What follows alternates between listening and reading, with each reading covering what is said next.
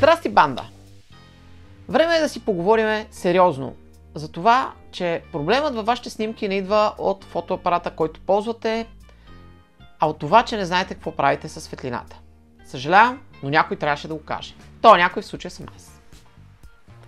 И за да не ви се сърдите, Казвам го, защото аз съм бил на същото това място като вас. Смисъл, много пъти съм си казал, ако имах по-хубав обектив, ако имах по-хубав апарат, ако имах по-светъл обектив, ако имах full frame, щеше да еди какво си. Ако снимах с Fuji, щеше да... Не.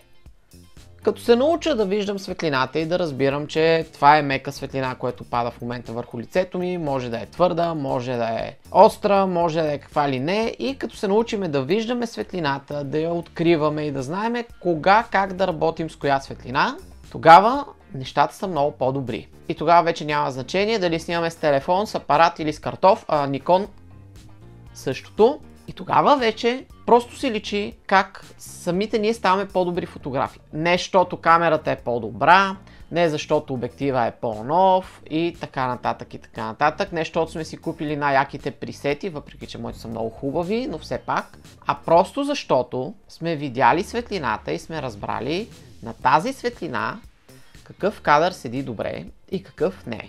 Примери има безкрайно много. Ще се опитам да ви дам няколко или поне един инстаграм акаунт, който да ви а, така вдъхнови, да почерпите информация от него, визуална, за да може да видите какво означава, когато светлината е добра. Може е всичко друго зле, но с една хубава светлина нещата се оправят. И да, те деца ми звъняха и им затворих на часовничето. Ще нахейтат светлината тук, защото тя си е за хейтене. Обаче работя по въпроса. Какво да ви кажа? Не всички сме перфектни, въпреки че аз съм близко до...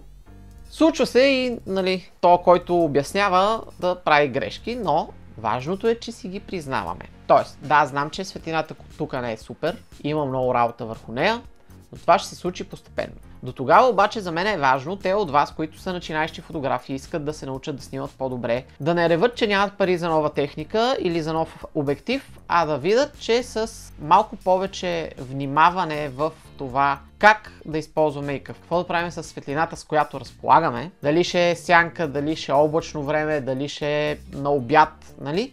Има моменти, в които светлината е една и друга и трета и се променя и ние трябва да я наблюдаваме като фотографи, за да знаем какво да правим. Това видео стана абсолютна каша, дано ви е било полезно. Важното за мен е да разберете, че е много по-добре да се научите да работите с светлината и как да използвате светлината в ваша полза, вместо да се оплаквате, че нямате хубав телефон, хубав апарат, хубава камера, хубав обектив. Погледнете акаунта, който ще ви линкна в описанието и ще ви сложа скриншот. Също така има прекрасна книга Светлина и осветление на Майкъл Фриман, която трябва да има в повечето библиотеки, книжарници и такива места. Може да си я потърсите, да я прочетете и да си записвате неща от нея. Страхотна е. Мен ме е научила на много. Силно я препоръчвам. Чао! До следващия път!